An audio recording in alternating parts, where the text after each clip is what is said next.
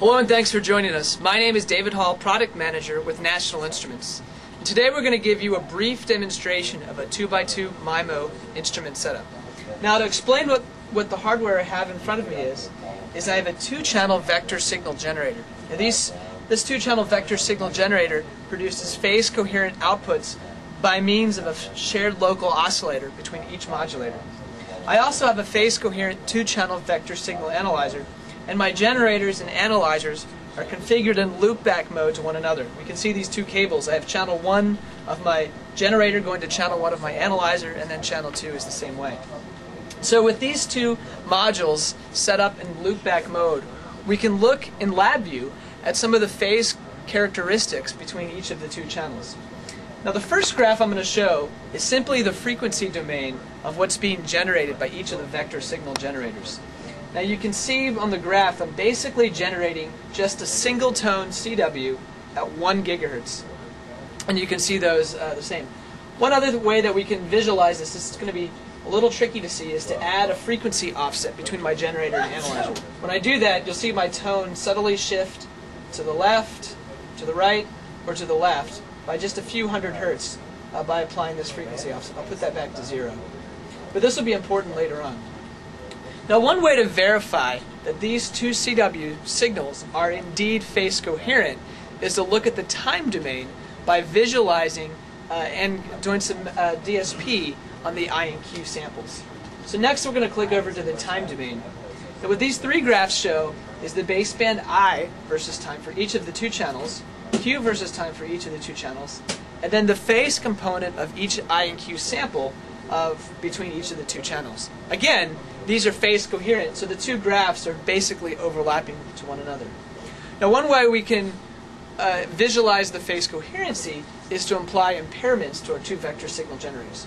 The first thing we're going to do is add a frequency offset. When we add a frequency offset, uh, the frequency information of both I and Q versus time is equivalent to the frequency offset between my two channels. Again, I've applied a 200 hertz frequency offset. That means that the frequency of this sinusoid right here is exactly 200 hertz. Again, they're still overlapping, so what I'm going to do is apply a phase shift to the first channel my vector signal generator so that we can visualize those in the time domain. So here I'll click on my channel 0 or channel 1 phase offset, and then you can see as I apply a phase offset, we see the red line shift over in time. You can see that there. So with a zero hertz offset, they're overlapping, and I can apply in this graph up to a 180 degree phase offset. Now one other graph to point out is this phase versus time. Because I've applied a frequency offset, I see that on a sample by sample basis, my phase offset is increasing over time. A frequency offset is a basically a phase versus time shift. Also, I see this discrete time delay between my red and blue traces. Again, illustrating that the phase offset between each channel is constant over time. A second way that we can visualize this is in the Cartesian domain, where we're looking at polar coordinates.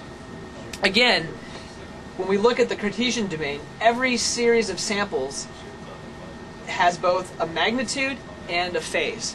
Here we can see the magnitude and the phase is zero. Also, because I've removed my frequency offset between two channels, each point in my acquisition overlays on one another. The way that we can see these shift is to apply a frequency offset. When I apply a frequency offset, even of a few hertz, we can see that on a sample by sample basis, the phase of each sample is increasing over time. Now that I've applied the frequency offset, I'm going to apply a phase offset as well.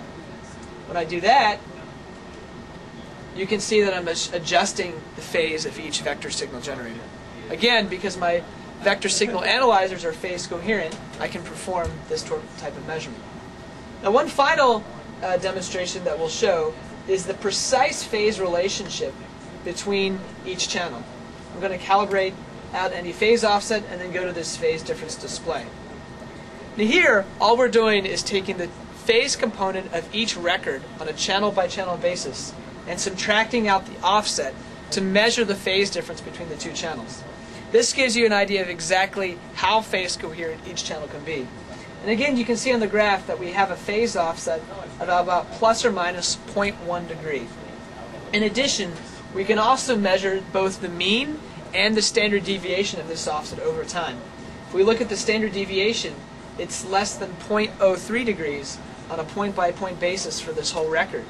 Also, the mean offset is about uh, 0.01 degrees uh, for this entire acquisition. So again, I hope this gives you a little more information about how to measure phase coherency in a two-channel vector signal generator and analyzer system. For more information, please visit ni.com/rf.